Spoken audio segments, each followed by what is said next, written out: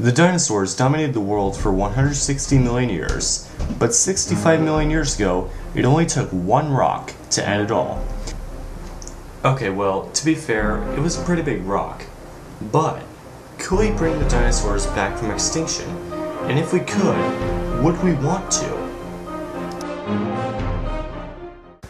Hello everyone, welcome to KhAnubis Explains by KhAnubis Productions, the channel whose logo used to be a picture of a mammal.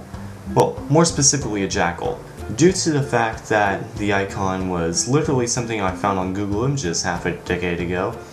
It is now the company's name next to a Vulcaneer. Since we're primarily an educational channel, I can't really think of any smarter alien race in my favorite sci-fi franchise, Star Trek. Can you tell? Almost every single KhAnubis Explains video has a Star Trek reference. But that's not the point of this video. Now, the possibilities of us seeing a real T-Rex or a pack of velociraptors in a zoo are awesome, but slim. This is because that, you know, the method they used in Jurassic Park to revive dinosaurs using DNA from fossilized amber is basically impossible because DNA breaks down too quickly.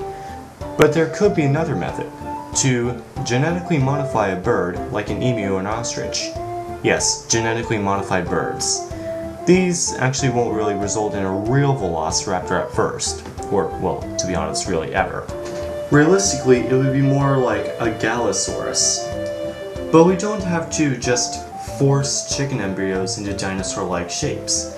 After all, birds are the direct descendants of dinosaurs, so it may be possible to reverse evolve the birds.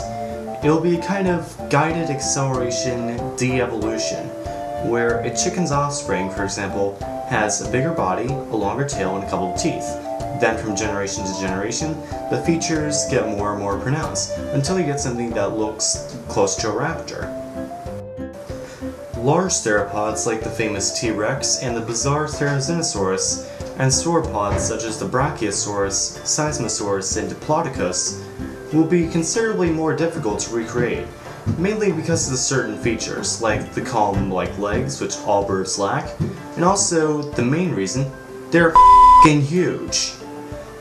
So, if we'll be able to recreate dinosaurs from reverse evolving chickens, then we'll probably only get small raptors. Not that that's really anything we should really be complaining about. I mean, that's like going to Mars and complaining that you don't have a good view of Earth. Mainly because you would just mistake it for a star unless you could somehow see a hint of blue. But even if we could bring them back, would we want to?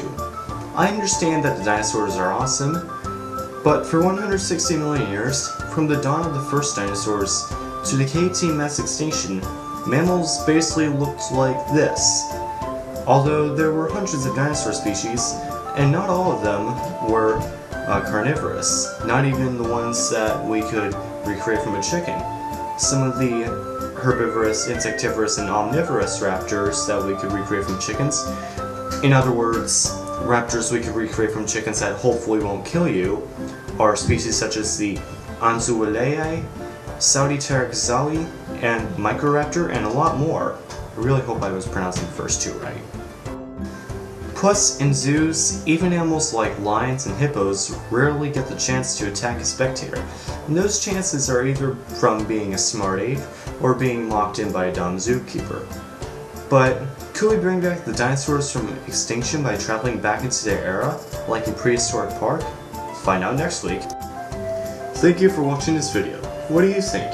Should we bring back the dinosaurs? Leave your answers in the comment section below or in some other direction if YouTube changes its design yet again. As always, be sure to subscribe so you'll know when we have uploaded a new video. It's really much easier if you've subscribed. Also, what do you think of our new logo? See you this Wednesday for positive news.